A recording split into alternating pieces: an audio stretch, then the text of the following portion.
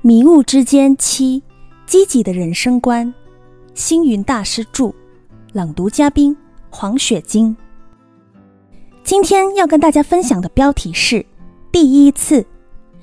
一个人的一生数十年岁月当中，一定有很多的第一次。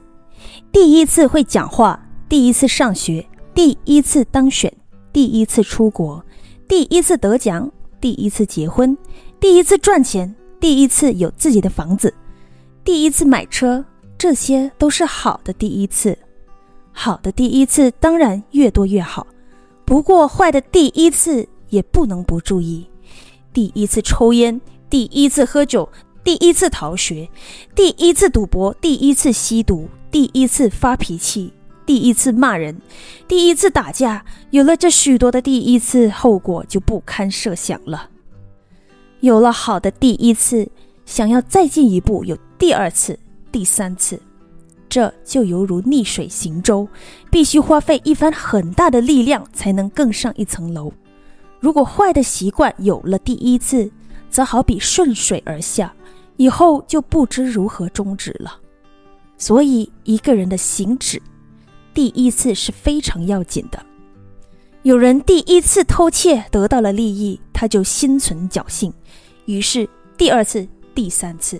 可能从此沦为窃盗之徒，好像一块白布染上了一个斑点，干脆就把整块布染成别的颜色，后面再多的斑点、再多的污秽都不再觉得严重。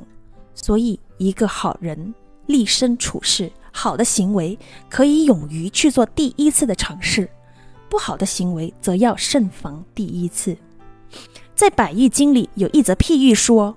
一位妇女生下了七个小孩，其中一个生病死了，她就把死去的小孩摆在家里，自己带着其他的孩子到外面露宿。邻居看到这种情形，就告诉她：“你这样做是错误的，应该将死掉的小孩搬出去埋葬，让其他的人住在家里才对。”妇人想，一个小孩用扛的比较麻烦，不如再杀死另外一个小孩，用挑的比较轻松。这个譬喻说明，一个人如果做错了事，应该立即改过，千万不能认为既然犯错了，反正别人认为我是有污点的人，干脆一不做二不休，这样的重复犯错就真的不可救药了。人有善缘，自然就会有许多善的第一次。我遇到第一个好老师，后面当然就会想要有第二个、第三个好老师。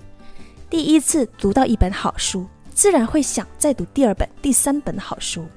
第一次交到一个好朋友，就会想要有第二个、第三个好朋友。信仰佛教的人，第一次尝到禅悦法喜，就会想要有第二次从拜佛中得到的法喜，第三次从禅坐里感受法乐。如此善因好缘，自然就会循环不断。所以第一次何其重要！